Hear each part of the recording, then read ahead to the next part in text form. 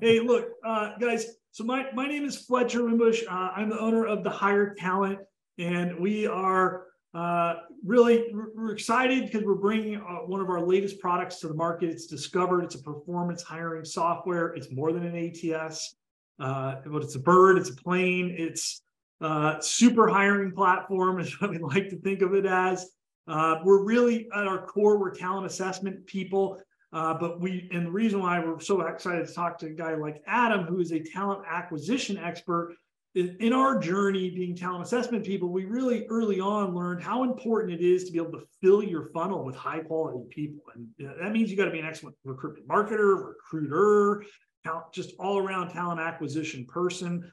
And so I've spent the last 10 years of my life just getting better at those things. I, I, mean, I mean, I know a lot about figuring out who's good and assessing people, but getting them into the funnel so that we can, you know, get to a final conclusion has been a, a new journey in my life that I spent 10 years and I'm still learning a lot. So, you know, uh, Adam, you know, we've been kind of following you on LinkedIn and and was really impressed with you and what your company uh, IQ Talent Partners is doing because in respect, the angle that you guys take is you guys take a kind of a different approach to talent acquisition, right? You, and the theme of this is sort of breaking the contingency model, right? And I think probably anybody here listening to this has probably had some frustrations with the contingency recruiting model, if not a lot.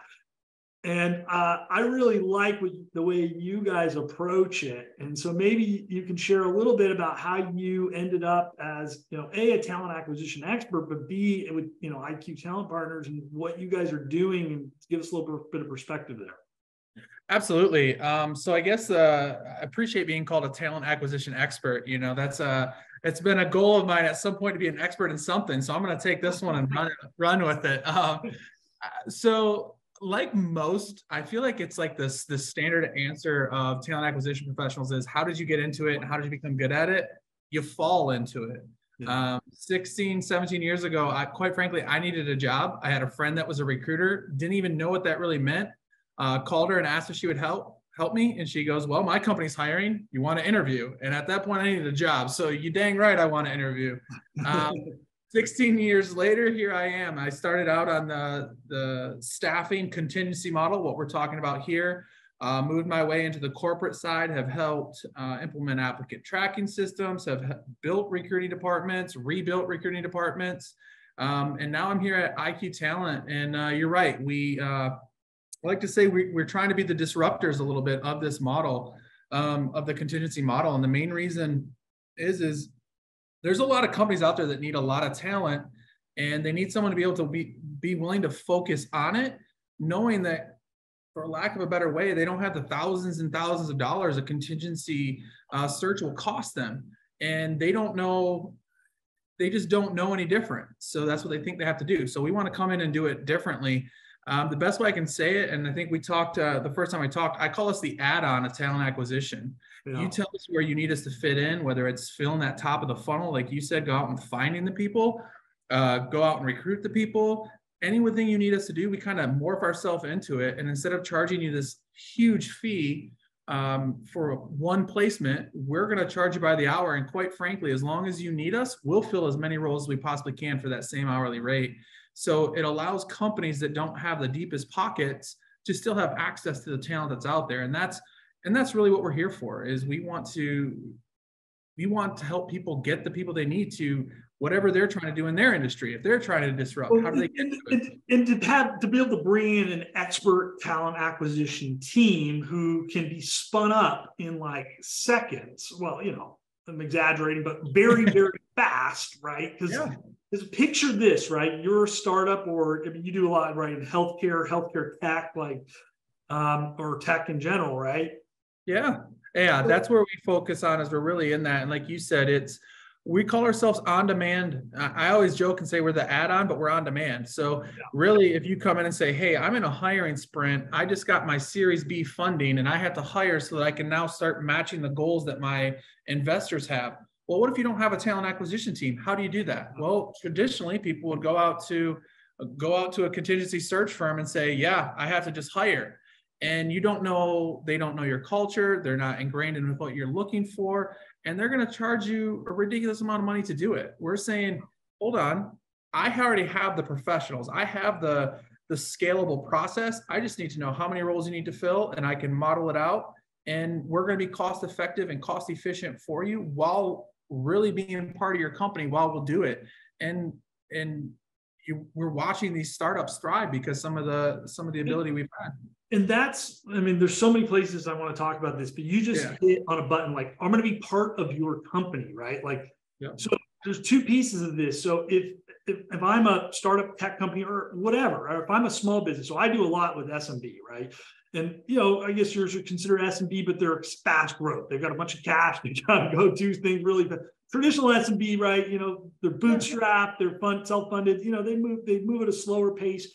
But again, they can't. So neither of these groups can go and hire a talent acquisition expert like you. I mean, it might cost them a quarter million or more, right, to really get that true expert person in there, and to maybe fill a couple of roles, can't justify that. Uh, let alone, or you know, uh, uh, let alone find that person. like, so finding a great talent acquisition person to fill that role is a very difficult task in itself, right? Yes, it is. Yes, it is. And we, I mean, and, and you kind of nailed it. That's why we, I enjoy this model. And again, I came from being on the corporate side and traditional staffing that did contract, contract to perm, and contingency. Yeah. One of the things that I always had an issue with is even when I wanted to have the best the best of intentions. At the end of the day, my compensation was going to be affected by how many placements I had. Mm-hmm. So what happens is I stopped seeing the person and the company in front of me, and I started seeing how quickly can I fill this role to move on to the next one. Yeah. Well, I, I'm not now I'm just looking for profile. I'm not looking for a person. In our model, I can come in and say, I can ramp up extremely quickly. I can ingrain myself into your culture extremely quickly. We have a proven scalable process where we come in and we have specific questions that we ask to everyone to make sure that we, I always say, you hand a recruiter a job description, they'll hand you back a profile. Yeah. Well, that that's fine that doesn't mean the person's going to be successful. To kind of like what you're talking about that assessment piece we really try culture to understand right? The culture the right? tangible stuff uh, yeah my my favorite question to ask hiring managers is job description is fantastic thank you for getting me that. Tell me who this person is. Yeah. What problem are they going to solve right? The job description doesn't tell you that. So i sit there and i ask those questions and now I can come up and I can build a plan with my internal team, my IQ talent team, and say, okay, we got to scale this quickly. This is how we're going to do it. And this is the amount of hours that we're going to use per week to get this accomplished. Then I'm going to set up my weekly cadence with with the hiring manager and my team that I'm working with internally. And I'm literally going to be the extension of what they already have if they have a TA department, or I'm going to help them establish best practices. So if they do get to the point they can hire a TA team, they already know what good is. Yeah. Yeah. And and that and that changes the game for these companies that just that they don't know, right? It's not their fault. There's so many companies out there that have brilliant minds, yet their brilliant minds aren't geared towards hiring. I just have a and that's one of my pet peeves, right? I run these polls on LinkedIn. And everybody here chime in, like, tell me who here was trained to hire, to recruit, hire, or interview people in the hiring process. So if you got a business administration degree or an emphasis in HR or communications or anything else, there's no college courses for this. No, you're right. I mean, just the HR degree in itself is becoming new, right? Like it's just becoming something that's new. So now say, now go further inside of the HR space, which TA falls in that. That's a different argument and where TA should fall. That's, that's I yeah. can go on for hours about You and I agree on this. They're two completely different departments, in my opinion. Yeah. So now you sit there and go, it's even that the the the mindset of what TA is, how we do it. I have some of my some of my favorite people to follow on LinkedIn. I'll give the selfish selfish plug to Trent Trent Cotton. I don't know if you do it, but he has a fantastic mindset of using essentially lean manufacturing type of principles into TA. How do you how do you make this efficient so that both sides feel that they're being valued in their time and everything like that? And it's sprint recruiting is what he calls it. And it's this is such a new space that I think there is going to be growth to what you say, college classes and stuff like that. But we, I think we're years away. right? Yeah. So how do we do it? I mean, th- th- this is how my journey came. I was 16. I was the captain of my football team. I got, for some reason, they elected me student body president of the whole high school. I'd never been involved in like student government or anything. I was actually kind of a misfit. Like, you know, they nearly kicked me out of school and off the football team the whole nine yards. But you know, I found myself in these leadership roles, maybe because I'm a bit extroverted, uh, did not belong in any sort of leadership role. I still probably don't belong in any leadership kind Same. of roles, but but they just I you know I found myself in these places. But and I and I grappled, I grabbed onto this concept that if you put the put the right people on the bus, you get the right people in the organization, whether it's your football team or what. I mean, look at the Patriots. Oh my God. I mean, or uh, and I'm not a Patriot. Niners fan, but they do a really good job too. Uh, yeah. But no, you get the right people on the team, you get the right people on the bus, and great things are going to happen in the organization. I mean, look at Elon Musk. I mean, so there's so, might be some haters out there in the guy, but dude, he convinced the smartest people in the world to work 80 hours a week for well below market price to help accomplish his mission of putting people on Mars, right? Like, uh, that's a shitty job frankly, actually, right? Those guys yeah. work like dogs, right? Yep. Yeah, he figured out how to assemble assemble those minds, and that's what, quite frankly, what you just said is part of the reason that once I got into TA, what I got so excited about is because it's how do you assemble these minds? I mean, I remember in our pre-call that we talked about, I said, at the end of the day, I call talent acquisition the ability to be how fast and efficiently and well can you build a human relationship between two people to solve a business problem? The business problem for the company obviously they wouldn't open a position if there wasn't a business problem. And the candidate i don't care anybody says i equate it to business. Whether they need a job they want to pay bills they need to get out of a toxic relate toxic job whatever it may be that's a business problem. And how quickly and efficiently can we bring those together? Yeah. unfortunately there's so many people that don't don't know how to do it and that's not their fault. That's not what they're geared for. That's not what they were hired to do so they don't train on it. I mean, even the business coaches. So, you know, on my podcast and other webinars I do, and no offense to all my business coach friends out there, a lot of them, but they're, you know, they teach about like mission, vision, alignment, processes, EOS, scaling up, all these different like models and systems and processes. And they do touch on talent acquisition, but they don't, it's uh it's even they are not in the weeds in there doing it day in and day and out and actually creating systems process you have a system and process for every part of your business in most cases but often talent acquisition is forgotten about. Yep it makes no sense. Oh i always tell everybody in my personal opinion, outside of direct sales, talent acquisition will have more of an effect on your bottom line than any other department in the industry, in the in the in the, in the organization. A lot of people are gonna not like me saying that, but ask a hiring manager if they hire the right person, what it does to their department, their efficiencies, their product, all of those things. Ask that same hiring managers what's happened to their department, their product, their efficiencies if they hired the wrong person. Yeah. You can directly correlate it to how much money's coming in.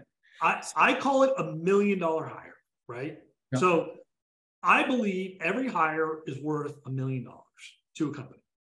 I honestly believe that. And you know, you guys, people can say you're freaking crazy, but you put sales in front of people, and I don't do that. Like, no offense, but think about it. Well, who you got a sales guy or gal? Yeah, a million dollar a year quota. Absolutely. Get the wrong one in, they don't produce a million dollars, you just lost a million dollars. Or you don't fill that role, goes on fill, that's a million dollars in unrealized revenue if they have a million dollar year quota. Right? No, you nailed it. And so I guess you, I mean, the way you said it is exactly how I believe. I think you did, yeah. we just, same thing, different, I know, I know. a different way to say it, right? no, it's the truth though. I mean, if you don't have the right people and hire the right people, your, your company is going to be affected negatively. Do you, so many companies, uh, C suites? I mean, I look again, run these. You see these polls over there all the time. Like you ask any CEO, what is the most important, uh, you know, part of their business? What do you think they're going to say? Uh, they'll always say people. yes, they always say people, right? Do you think they really put their money where their mouth is and I'm calling out CEOs all over the world here. And I'm going to get I'm going to get totally burned at the stake for this one. But do you really think many of them are putting their money where their mouth is on that? let's just say that uh, there are some, and that means that it's not all. So I'll let you infer what I mean by that. Yeah, yeah. There's, it's uh, it's it's the hard part, right? It's do I invest in more people knowing that if I invest in the right people, I'm going to get the return? Yeah. Or am I able to knowing that I have to front the money, right? Like, let's be honest, no matter what anybody says, there's the risk versus reward. And it's where does a CEO live in the mindset of how much risk can I take waiting for the reward? Yeah. Uh, I think a majority of time when it comes to people, people in the C suite, they make the best decision they can with the information at hand. But I believe sometimes you do see it be short sighted. You're like, you, if you would have just continued to invest in the right people, yeah. the return would come quicker. Yeah. And that's where, like, when you talk about talent assessments and things of that nature, that's why I call them a very powerful tool. Yeah. Can be a very powerful tool if you use them the right way. They can also be extremely dangerous. I've watched companies use talent assessment tools for the detriment of an organization when they and they didn't even know it. And I'm sure you see that all the time in your business where you're like, you guys aren't seeing what we're trying to do with Yeah. these things. I mean, t- talent assessment to me, I mean, as much as, as there are assessment tests, assessment tools, to me is a holistic process of starting with that job description, OKRs, KPIs, which again, most job descriptions don't include those. And I'm a huge Lou Adler fan. I, I don't know if you follow his stuff much, but I, I mean, he was one of my early inspirations. And I mean, he talked, this, is, I learned this from him, right? You create job description, solve a problem, right? What is the problem with OKR, right? And then what are the KPIs that are going to drive success towards those OKRs, right?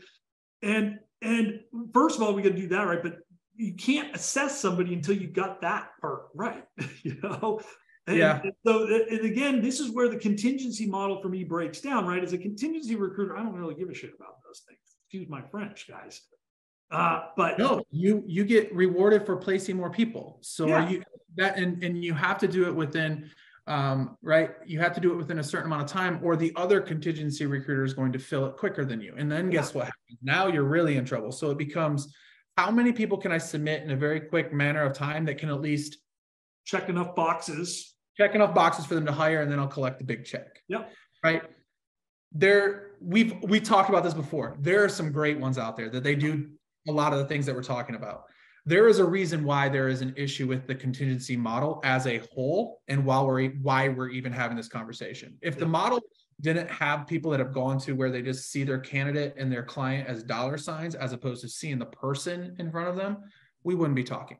Yeah. That is the problem. There are too many people with the contingency model that sit there and say, "Well, I'm just going to keep throwing you until you until you bite." Right? It's like fishing. Just keep throwing the bite, the bait. Eventually, someone's going to bite. And I don't care how big it is or how little it is. Just keep biting. Yeah. And that has to be broken. And that's the one thing that I like about our model is we'll fill as many roles as we possibly can in a given set of time. and it disincentivizes the uh, everybody involved to do the right things. And, and so if I'm a hiring manager and I hire three contingency recruiters to go out there and they start throwing a bunch of spaghetti against the wall, right? And you know, then I start to get a little jaded, right? I start to go, oh, there's a bunch of garbage, bunch of garbage, bunch of garbage. And then when somebody actually does present a good candidate, they can't see the diamond in the rough, right? I'm jaded because I just reviewed 25 resumes And they're all garbage. So so-called great candidates. And then the one person that does do it the right way like we talked about or a model like ours where we come in in this way and we really assess now our people are looked at jaded. Yeah. they they're very upset because they're already they already distrust the outside search firm whatever model your model is. There's a distrust built. Yeah. and that's why you know i to go back to our model what i like is i'll have a kickoff call with a client and i'll tell them flat out hey, if you're telling me I'm starting from scratch, which means I don't get to review applicants, you have not had anybody um, doing this, I'm going to be upfront and tell you, you may not see a candidate for two weeks. Yeah. Yeah, absolutely. I mean, I tell people 45 days to 90 days to fill it. I mean, depending on the role and the situation, especially in the beginning, if you're starting from scratch, right? Like Yep. if you find if you find the ideal candidate for somebody, Uh, hopefully it doesn't take this long, but the reality is it does, right? Like you give, you hand me my ideal candidate tomorrow. We start a search. There's at least a two week assessment process going on, right? Inter, in, multiple interviews, assessment tests, reference checks, working interviews, a panel interview, whatever it is appropriate for the role. There's you know, the different, I believe there's kind of different path, slightly different paths depending on the situation. Right? If I hire a barista, a different path than hiring a CMO for my new medical device company, right? Absolutely. You, you um, nailed it. You nailed it. And, you know, it's, it's one of those things that that's why I think what we do is we I, I say it's building someone put in the question which i love the question seeing it is how do you build this trust gap right because if you're battling this contingency search model and you're trying to do it differently how do you do it differently and how do you build this trust so they view you as a true expert i i'll be honest with you i call it be be extremely truthful yeah here's my true expectations i'm i always tell my team and i train my team train my team to build trust you have to set true expectations get a verbal agreement on the true expectations for both sides, send a follow up email on both sides, and then you can start the process. It and doesn't reiterate it at each meeting with the client too, right? I mean, it doesn't doesn't end, right? It's a constant no. thing. It's and, it's it's the communication process as you go. Like I know at times how I work naturally is you tell me to do something, I'm gonna go do it, and I'm gonna come back, and I'll do when I'm done. Well, I've learned through failing my clients don't like it. And I equate it, they, they want to know what I'm doing as I'm going along. Yeah. You have to set up communication parameters, communication sequences, cadences. And by doing that, to that trust question, now if I set my expectations, I get agreement, I follow up, and then I communicate against those, those expectations that we set all along, the results are going to take what, how long they're going to take, as you said. Everybody at least is on the same page and they can't say they didn't know. Yeah, because each week when you meet with the client, you say, okay, client, this is what we did. Here was our activity, reportable, measurable activity. Here was the outcome. Okay, if that outcome wasn't the end result that we were hoping for, then you're now accountable. So just like you worked for them, like in their office, yeah. right? Like if I had a talent acquisition person working for me in my office, every week I would meet with that person, right? And I would say, okay, what'd you do last week? And what are you going to do next week, right? Yep, and, absolutely. Okay, that didn't work last week. What are you going to do differently next week to change the result, right? Absolutely, and and and that's that's how we build the gap. We we we bridge the gap yeah. because typically hiring managers, in my opinion, they want the position filled with the right person, and just someone's burned them along the way. Yeah.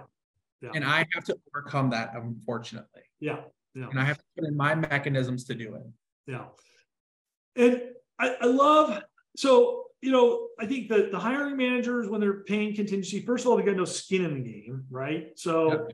you know, they a lot of times they're not that super engaged. Like, I mean, again, you send them a candidate, they don't respond for three days, and next thing you know, finally they respond, and then the candidate's already found another job, right? And again, as me as contingent recruiter, I'm like, I'm mad, I'm pissed off, and now I'm like, it just totally jaded the process. And then, I mean, I've heard clients saying, "Hey, my recruiter basically ghosted me." Yeah. I'm like, yeah, well, go figure. You didn't pay them to do their yeah, job. I mean, right? you know, what is it? The squeaky wheel always gets the grease, right? So if I have a client that is being receptive and listening to me, and I'm a contingency one, and they're hiring multiple people, and da da da da da, who am I giving my best candidates to? Them or yeah. the one that I send to the, the to the hiring manager and I don't hear back for a week? Yeah, exactly. That's, that's, I'm going to yeah. keep sending you my C and D candidates, but my A and B are over here because they're paying me a ridiculous amount of money because they're responsive and the, yeah. the process is working right. That's that's natural human instinct. I'm not going to lie and tell you that early in my career when I was in contingency, that's not what I did. Yeah. Because I'm like, you don't value my time. This company does. So guess who gets my energy? Yeah. So that's how you can make a contingency recruiter work for you. I mean, if you want to go that route and you want to pay 20, 30%, you know, and maybe that works and maybe there's it's appropriate to you to do that in some circumstances, much as a hater of it I am. But um, you know, every nobody take me too seriously, folks. I I, I like to go out on a limb, I'm, but but but I, I really hate it with a passion. Like I think it's just terrible for like humanity. But um, uh, but look, if you are going to make it work, it's to you know have that communication and have that tight communication in the channel and and to build a process with each other, the recruiter and the hiring manager, right? And and those two. But I think your model forces that, right? I imagine if if, if you came to work for me and you went to hire me, whatever CMO or a whole marketing team, for example Yep. You know, if I didn't show up to my weekly meeting with you, if I didn't respond, I mean, you're going to hold me accountable for that, I would assume, right? Absolutely. And that's why I always say, that's why I say set true expectations. The first, and let me take a step back. This is kind of how, if you were my client, I would come in and we'd have a kickoff meeting to describe how we're different.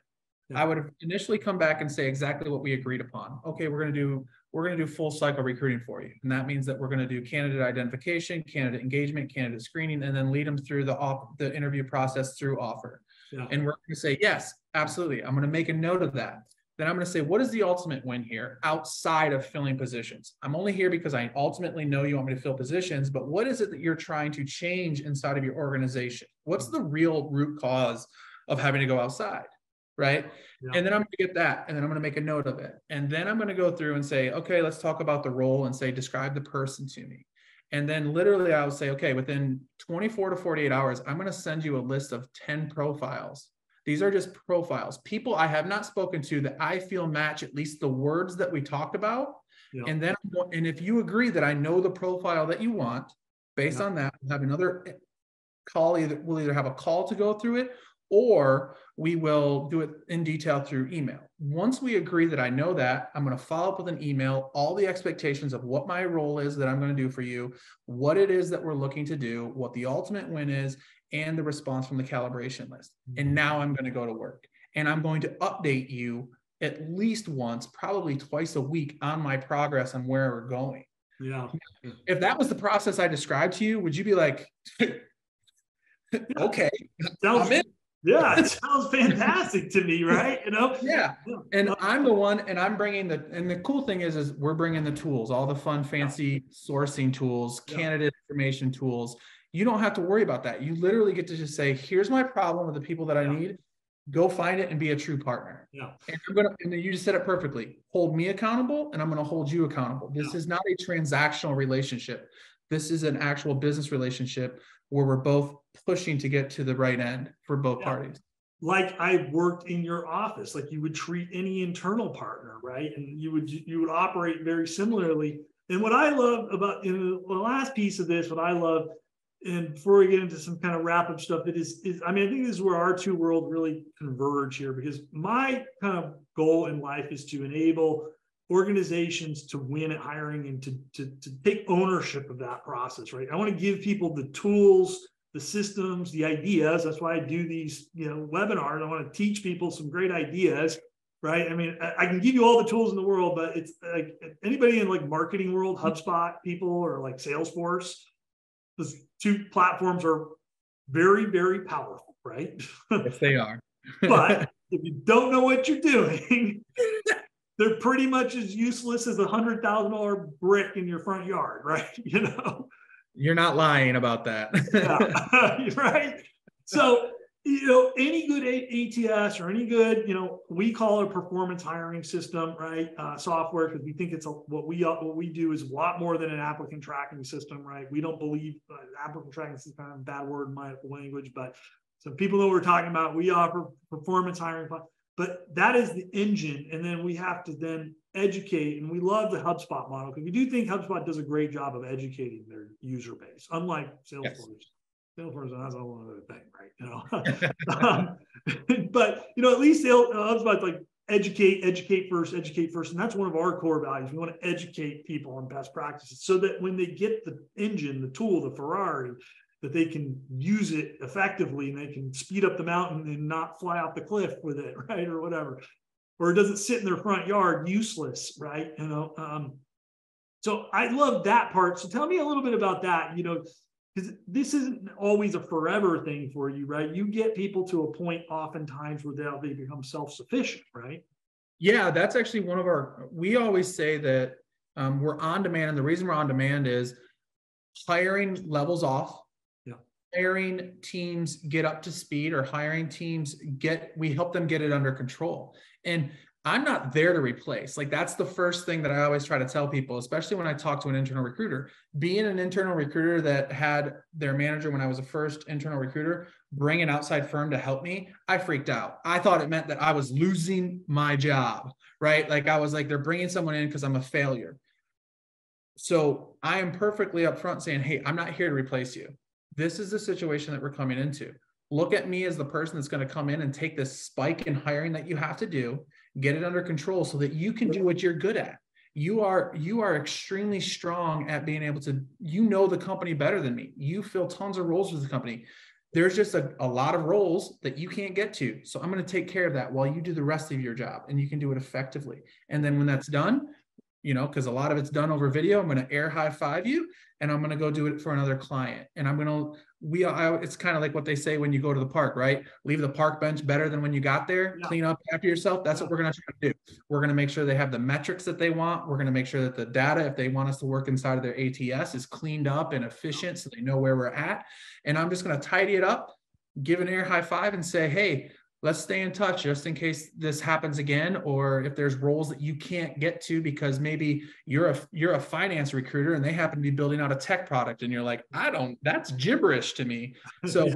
call us we'll come in help and do the same thing and we'll we'll move on um, and we've done that we've helped set up talent acquisition departments for companies in yeah. fact a lot of people think it's weird we actually hire their recruiting team so they can remove us and some yeah. people are like aren't yeah. you getting rid of your own business? And I'm like, that's not our model. Yeah, because you're going to end up with a happy client who's going to refer you to somebody else, and when they do need you, they're going to come back reliably and happily, and and then you know it's just a, a yeah, it's just such an amazing system and model that you guys do. So look, uh, Emilio, you know, if you can drop Adam's contact information in there for into into the uh, LinkedIn Live, and if you, and if anybody's looking for a better you know, mousetrap, or you're a small business and you're starting to think about you know formalizing hiring process, drop our link in there. You can chat with us and talk to us about our performance hiring system. Uh, but again, you know, there's kind of you know we both play a role here and help you guys can come in and start solving the problem today and we want to help kind of create also just like you create that foundation for people so that they have a system and a process and the tools and that they can be successful with them. And we want to, you know, you know, both in both cases, we want to see people win at hiring, right? Oh, that is that's it, right? I feel that I'm out here um, to be on this earth just to help people, yeah. and I'm pretty, it's pretty cool that I get to be in a profession where literally my job is to help people find jobs or help companies yeah. fill that. So I feel like I'm doing it on so many levels building and, families. I mean, you know, some people, you know, talk about, you know, non-sensible families, like no community. You know, if you don't want to call it a family, call it a community, right? Yes, a hundred percent. And I want to help in any way I can, even if it's, hey, we have a department. I don't have tons of hiring, but you talked about processes. Well, let's talk processes. Um, I am all about efficiency because efficiencies help you get to the ending quicker, which is huge for my brain. Two, it helps make the hiring manager and the candidate have a better experience. I'm very big on, I've had clients, they're like, yeah, we have eight rounds of interviews. And I'm like, well, wait a second now. why are we, why are we interviewing eight people? And then I start talking, let's add value to the interviewing process. If you, if there's eight rounds of interviews or eight people that have to interview, and there's true value, well, that's different. I can explain that to the candidate and the candidate. But you can consolidate that. Like, I mean, I'm a huge fan of work, what I call working interviews, which isn't it's not the best word for it, but it's like you bring the person in for half a day or a whole day. I mean, again, depends on the role, depends on the situation. Yep. Hiring a CMO, they might bring them in there for three days. Jeez, yep. you know, but like, you know, but you bring them in there for a period of time where you get to get to work together, you get to get to meet people. You could have eight different interviewers now because they're here and I've, I've blocked half a day or a whole day to do that. Now it's efficient, not yes. like, oh, I mean, imagine eight interviews. I mean, that could take like three months, you know. well, it was funny because you mentioned it. You're like, Adam, if I presented a candidate for your role today for the exact perfect candidate, and I sit there and go, Yep, okay, well, let's just say it's a it's going to take at least two weeks to go through my interviews, the value added, efficient interviews based on people's schedules. I have to be flexible, and then if it's the right person, they ask for a three a three week notice to their current organization. I'm at five weeks and I had the candidate on day one. So now I'm sitting there going like, this is why we talk about you have to have a, press, a strong process. You have to set true expectations because let's be honest, I'm not going to hand you the perfect candidate day one of starting yeah. to screen. So how do I add that to it, right? And that's I did and, that once. I did that once, by the way, as a recruiter. The mm-hmm. person I interviewed I present and got hired, and we interviewed a lot of other people after that. It was literally the first guy, first resume, first guy scheduled an interview for uh, when I was doing recruiting heavily.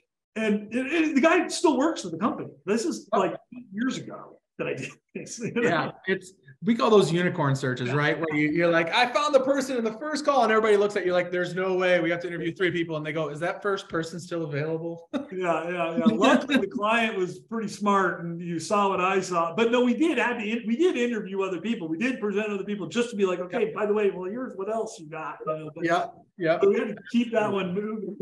Uh, whoa, uh, someone's um, okay, so look, this is we, you know, I think we talked about this in our briefing call, but we, you and I could probably talk all day. Too bad you live in Georgia. Uh, I live in California, but you know, if you ever make it out this way, come to Disneyland. Uh, happy to take you out for a beer or whatever. But we yes, shop all day long. So uh, I always like to end these uh, calls with three actionable tips that you would give to an organization or a hiring manager to improve their hiring process that they could implement like tomorrow, hypothetically, you know, like quickly, right? You know, what yeah. what would those be? The first thing would make sure you have an efficient process. An efficient process, right? Take a look um, at what it is. Is there friction? Is there is it working right? someone put in the comments like a value added efficient process. There is nothing better when a candidate from the very beginning, you tell them exactly what the process is, how it's going to work, and how feedback is going to be presented, and it goes through that way. Um, the other part, if you have a TA team internally, make them your partner, bring them to every meeting you possibly can when it talks about people working in your organization, if you have an outside partner, however it is, I would love to talk to you about IQTalent and how we can do it. Bring the people, bring the people that are going to go find your people to hire to the meetings. Yeah. Bring them to your stand-ups. Bring them to a product demo to talk about the passion behind the product that you guys work on, whether it's a software product or not.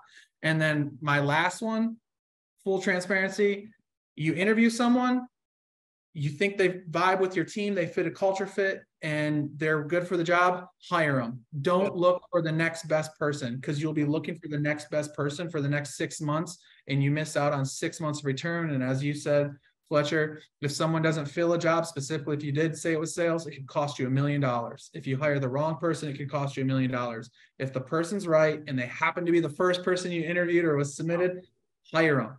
Well, if you have that process, right, that system, yes. then you'll know, right, if Absolutely. it's the right person or not. And it won't matter who else is out there because you followed your process, your scorecard, you've had, you know, the, your system for evaluating people. And if they're checking all the boxes along that, the way, then they've checked the box, you hire them, right? I love that, right? Yeah. Uh, so so those would be my three quick tangible ones away. And I will say the biggest one though is your TA team needs to be part of the process. Your yeah. TA team needs to be looked at not as separate, they yeah. are part of. And if yeah. the, you watch the company, you should be like that with them because they're the most value, they're the most important asset to your company, or the people are, and they're the, the gateway to getting that done. Unless you want to do it yourself, go ahead, go do it yourself, man. Like absolutely knock yourself out, right? You know. Uh, yeah. So, and I want to make an extra point on that. I meant to talk about earlier. We were talking about so many fun things. I, I, and I believe this strongly. And again, maybe I'll get crucified for this, but you know, I think talent acquisition deserves a seat in the C-suite in the boardroom, and that's where they belong in an organization. There, you'll never hear me argue other than yes. You're 100% right. And again, that's why I say the companies that hire the best their TA team is part of it. They're yeah. part of the team. They are part of every aspect. If they're talking about budgeting for the next year and hiring, the TA team is sitting there first, and they're probably they should be the first conversation. Yeah. Then you bring it to the broader audience. Yeah. We have to to hire well, we have to change the way it's been done for years inside of the corporate space. Otherwise, it's going to continue to be the same problem. They're going to continue to dismiss recruiting as we don't know what we're doing the companies that bring us along and want us to be part of it and view us as an expert, just like we do with their job, we view them as the expert. You have a They're CMO the- and a CFO and a CTO sitting up there. You know, you should have a CPA. I I agree with you. I think it the companies that do it and embrace it, it you can see it inside the organizations. Yeah. I've been to some companies, uh, some clients. I had a client that um, I was fortunate enough they flew me out to their headquarters in California one time, and I was like, um, this team's different. And I and I knew why. The head of TA was in every meeting. Yeah. It was fantastic. They're part so, of the, they're part of the C-suite. They're part of the decision making. They're part of the strategic planning of the organization. because And they such care more. Part of it. Your recruiter will, your recruiter will care more. Yeah. It's just, there's no other way to say it. They will Yeah. care more if they're, they feel part of your team. Yeah. And when a recruiter cares more, I can promise you they perform better. Well, yeah, and it comes across when they deal with the candidates too, right? I mean, if you deal with a recruiter who's tired and they interviewed 10 people today and you know they're just running through the motions, like as a candidate, they're not putting on a great impression, right? You know, Absolutely. You nailed it. but if they're enthusiastic, you know, then uh and like super stoked to be here, and it's like can't wait to spread the word about how great this organization is, then you're gonna feel that as a candidate on the other side, and you're gonna be like, you know what, I'm gonna spend a little more time thinking about this opportunity versus that one over there, right? Right. Um, yeah, yeah, it- it- yeah, you're right. It's just contagious across the board, as you said. Um, so, all right, guys, look, I, I don't like to keep these so long. This is such a fun conversation, Adam. Um, we're going to share this, uh, the links, the recordings of this. They'll be on YouTube, they'll be on LinkedIn. Uh, Adam, your team will get a copy of the raw footage. You guys can do whatever you like with it. Uh, we'll follow up after all that. But thank you, thank you, thank you very much. This just made my day. Appreciate your time and uh, happy hunting, as I like to say. Absolutely. It's been my pleasure and my honor. I can't believe that I got to sit with you today, Fletcher. This is fantastic. And uh, I hope we get to do it again. awesome. See ya. Bye bye. Bye.